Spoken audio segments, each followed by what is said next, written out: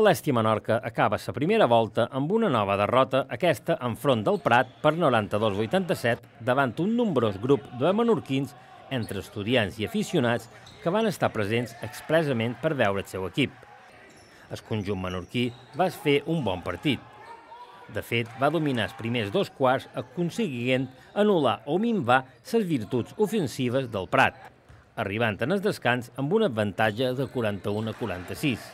Penso que ha sigut un, un gran partit de bàsquet, ha jugat a altíssima intensitat. A primera part hem controlat bé el partit, tot i la sortida una miqueta més fluixa. El Prat, una volta recuperat la seva dinàmica ofensiva, va ser un rival perillós.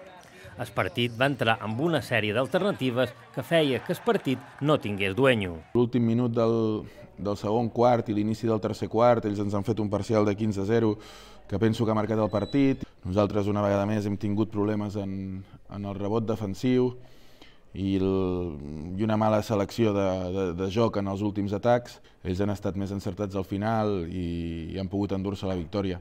Un parcial de 7 a 0 local va marcar el camí de la derrota menorquina.